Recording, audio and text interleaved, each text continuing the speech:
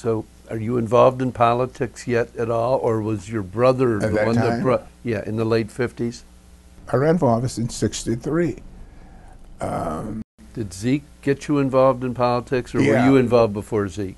No, no, Zeke. There was a guy running for council named Bill Sweeney.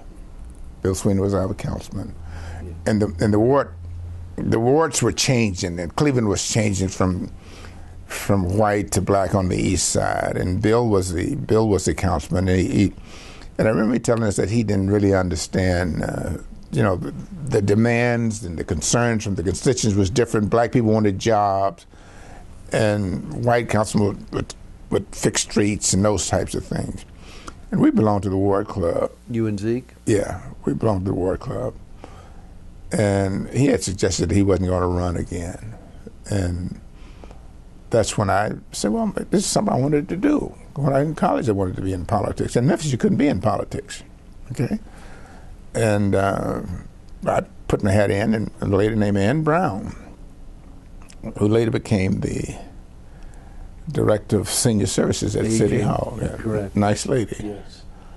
and I ran against. Her. There was about seven, eight of us in, the, in that race. It was about uh, Jerry Gold. Jerry Gold was the was the only white guy, and Ann Brown was a, was a, was a favorite. The lawyer Jerry Gold. Yeah, no, Jerry Goldman. Jerry Goldman was uh, Ann Brown and a guy named Al Brown and Ike, Ike Thompson. Okay. Ike was ward leader, and we, I won the primary, and in the general, I decided, well, how are we going to do this? Well, I was married, I had a kid, and I'd walk the streets. I walked the ward three times. I walked the street. Helen was in a buggy and a stroller. So we sat down and said, how are we going to do this? And we knew that black folks basically Democrats. And Ann Brown was a great candidate. Mm-hmm. So we put out on election day we put out a we put out a poster, a ballot. Your choice on election day. George Forbes Democrat, Ann Brown Republican. It was over. It was over. George Forbes, because Ann never publicized that she's a Republican. You get basically all black ward, all Democrats. You have the choice, your choice. And George Forbes, Democrat, and Brown, Republican. We won it overwhelmingly. That was '63. 63, yeah. And would, that's when we had uh, a change in in the politics. The city council, Jim Stanton ran against Jack Russell. And we overthrew Jack. That was a great coup. You were one of the swing key votes in that. Yeah, we was in hotel rooms hiding until they called the roll and those type of things. But it kind of changed the politics of Cleveland at that particular time.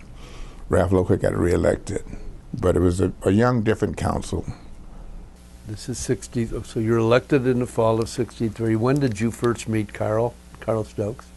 I met Carl in in law school. Carl was um, was assistant prosecutor, city prosecutor, and I, I wanted to get into politics. Went out and talked to him, and I never forget. He said, "Look, you know, he said, go, go out there and latch on to one of them young white boys, and uh, who's busy, who's not going to stay in politics, and stick with him." And that's when I hooked up with Bill Sweeney.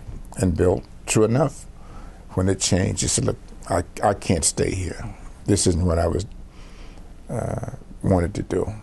And he supported me with uh, with the white section of the 20, old 27th Ward. So how involved were you in the 1965 in Carl's 1965 campaign for mayor? Campaign. Yes. Yeah, then he won in '67. Yes. Let me tell you a story. Let me tell you. An, let me tell you an interesting story.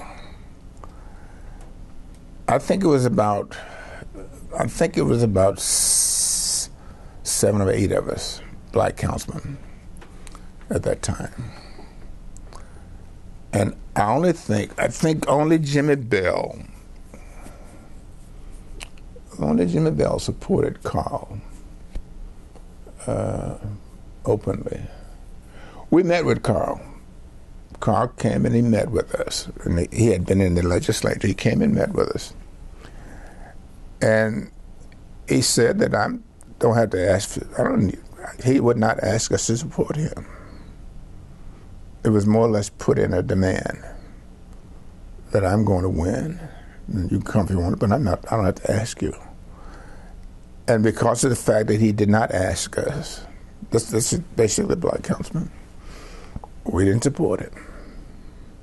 Now, and he lost. And it's, it's, it's something that I've regretted ever since. But it was a matter of egos. Uh, we elected, we got elected.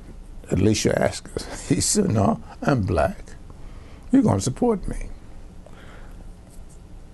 Jimmy Bell, and Jimmy Bell had committed that he wasn't going to do it either, but Jimmy felt. Is Charlie on council yet? Absolutely. Charlie Carr, Jimmy Bell, Clarence Gaines, George White, Leo? Leo. All right.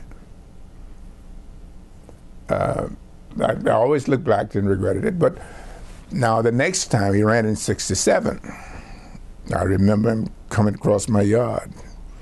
Uh, big long Lincoln. I want you with me. I said, I'm with you, my man. Okay, and we all we all uh, supported him. And in in those days, you had all these. You had people like Jean Capers, Geraldine Williams, people who were the forerunners of uh, in of the civil rights movement in this town, who were who had this. They were with Carl, and then they They were almost to a person they fell out with him at some point. Yeah, well, Jean, Geraldine Williams were, and, and they were supporters, and, and Jean, Ma- Jean Capers had been in council, and they were, they were not so much political, I mean, uh, civil rights forerunners as black political activists. Okay, And was Leo ever with Carl? Leo Jackson. Leo was always a man who marched to a different drama. Leo was not concerned about the politics of the city as he was concerned about the advancement of the city as it treated people.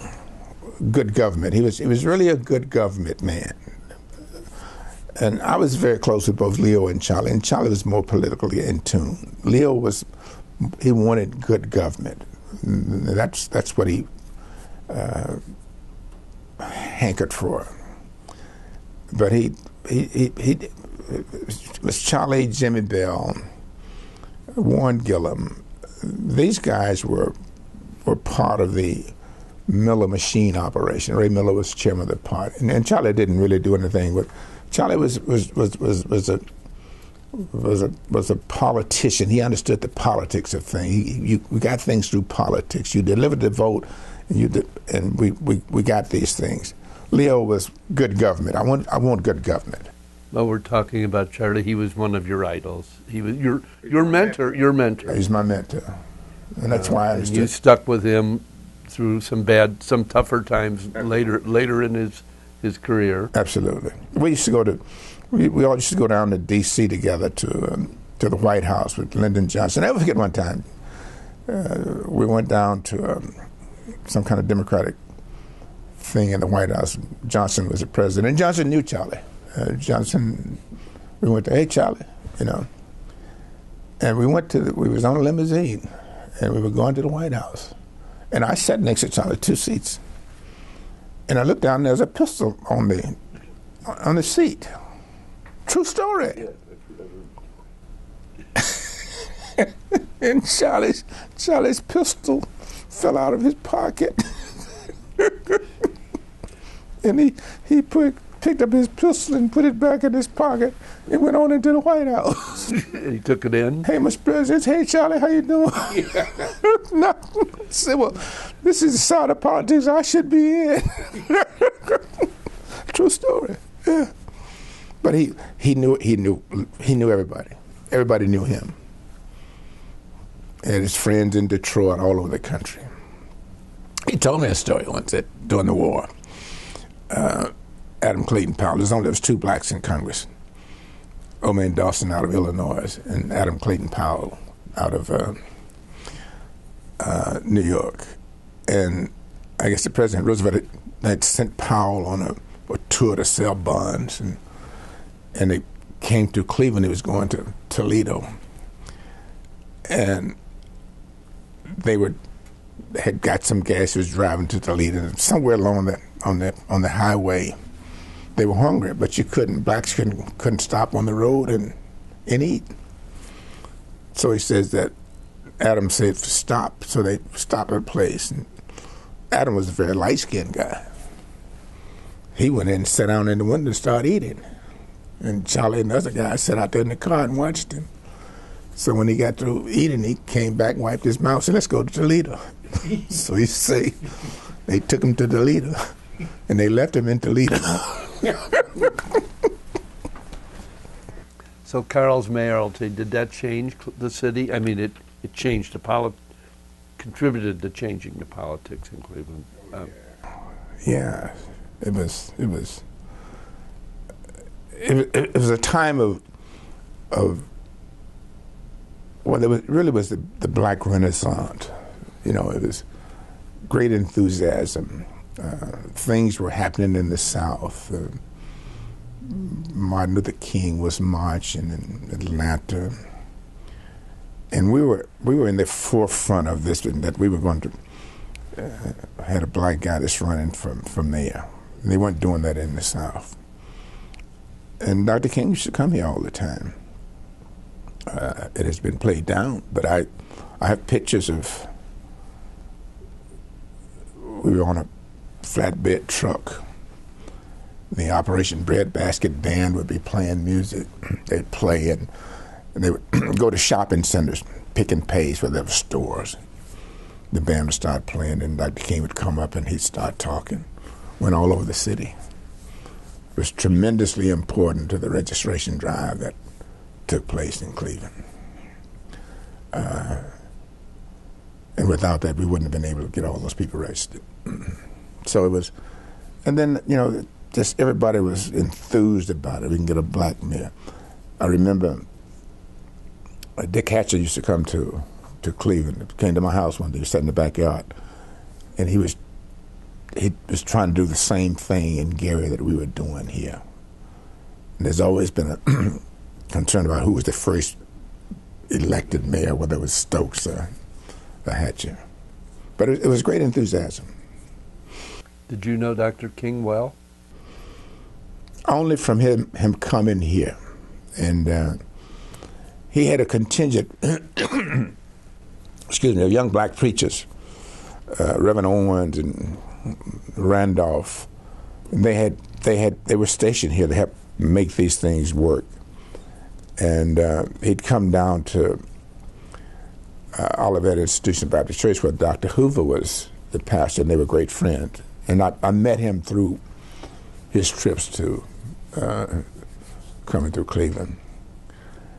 And when I became president of council, I I did a fundraiser for after he was killed. I did a fundraiser for Mrs. King here in Cleveland, and I think we raised about hundred thousand dollars. And that Hoover and I took the money down for to, for his operation down there. Yeah.